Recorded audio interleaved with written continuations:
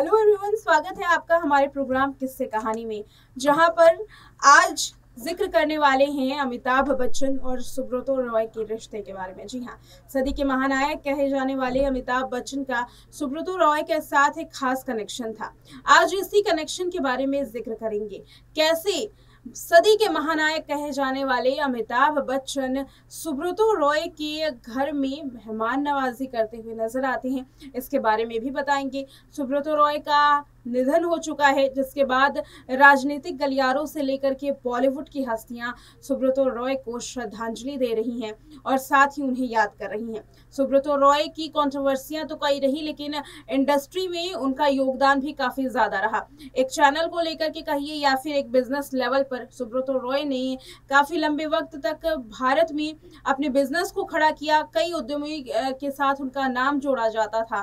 और आज जब वो इस दुनिया से चले गए हैं तो सुब्रतो को हर कोई याद कर रहा है। अपने अपने तरीके से श्रद्धांजलि दे रहा है। आपको भी दिखाते हैं अमिताभ बच्चन और सुब्रतो रॉय की इस खास कनेक्शन के बारे में एक वीडियो सुब्रतो रॉय और अमिताभ बच्चन की दोस्ती का किस्सा शुरू होता है तब, जब सुब्रतो रॉय ने अखबार निकाला।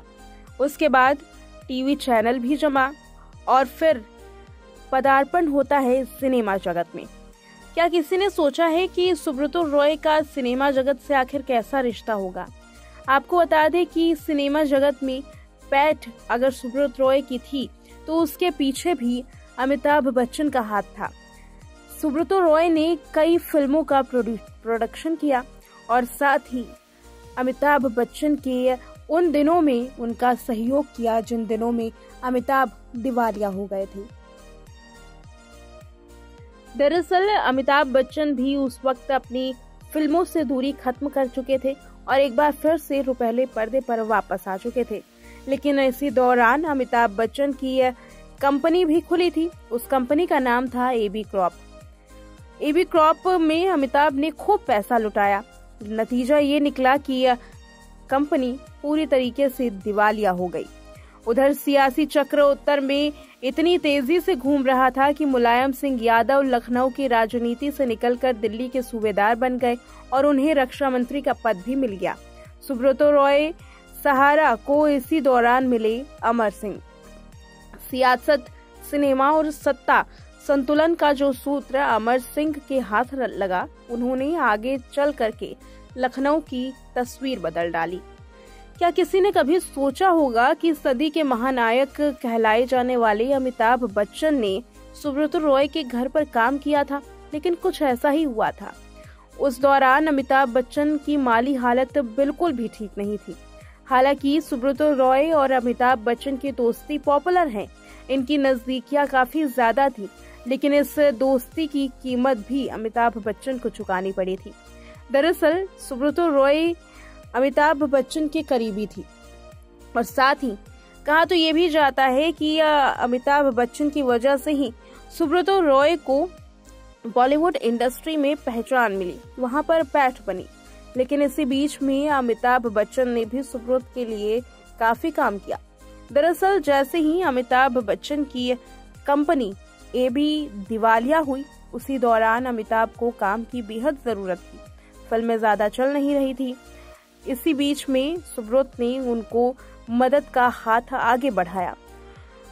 इसके लिए सूत्रधार बने अमर सिंह। दरअसल, समाजवादी पार्टी के नेता अमर सिंह अमिताभ के बेहद करीबी थी और वहाँ अमर सिंह, सुब्रत रॉय के भी करीबी थे।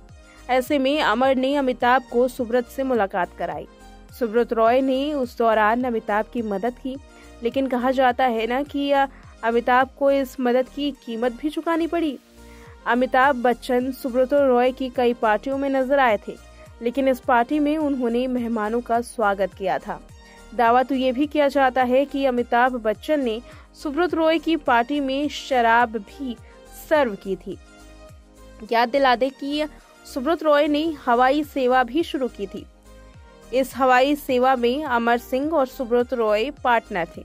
इस दौरान अमिताभ बच्चन और सुब्रत रॉय की दोस्ती देखने के लिए मिली। अमिताभ बच्चन बॉलीवुड के टॉप पर थे। उनकी सक्रियता सुब्रत रॉय और अमर सिंह के काम आ गई। उन्होंने कई सेलिब्रिटीज के साथ लाई जैनिंग की और इसी के चलते अमर सिंह और सुब्रत रॉय की हवाई सेवा से कई सेलिब्रिटीज और उत्तर प्रदेश दर्शन करने के लिए लोग आते थे।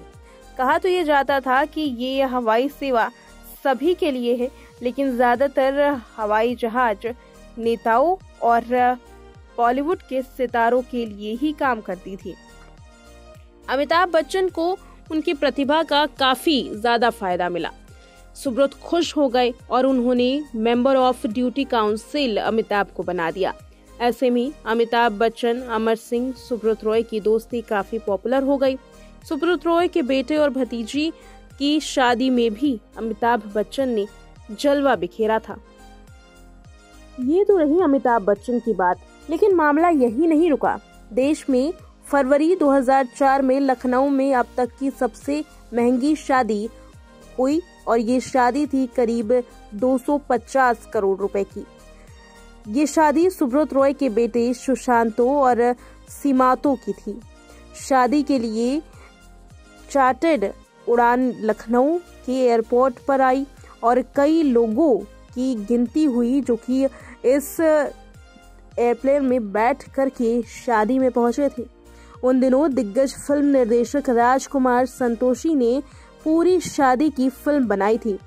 होटल की सबसे प्रतिष्ठित चेन ताज समूह के मुख्य शेफ हेमंत ओबरॉय की ड्यूटी बारातियों के पकवान बनाने के लिए लगी थी। लंदन से खास ऑर्केस्ट्रा मंगवाया गया था और मेहमानों की सूची में प्रधानमंत्री अटल बिहारी वाजपेयी तक को शामिल किया गया था।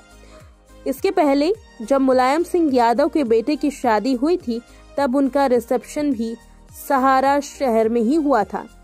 सत्ता और कारोबार का ये मेल करीब दो दशक तक ऐसे ही चला। मामला पहली बार तब बिगड़ा जब उत्तर प्रदेश के बहुजन समाजवादी पार्टी की सरकार बनी और इसकी मुख्यमंत्री मायावती ने सहारा शहर को सीधे निशाने पर लिया।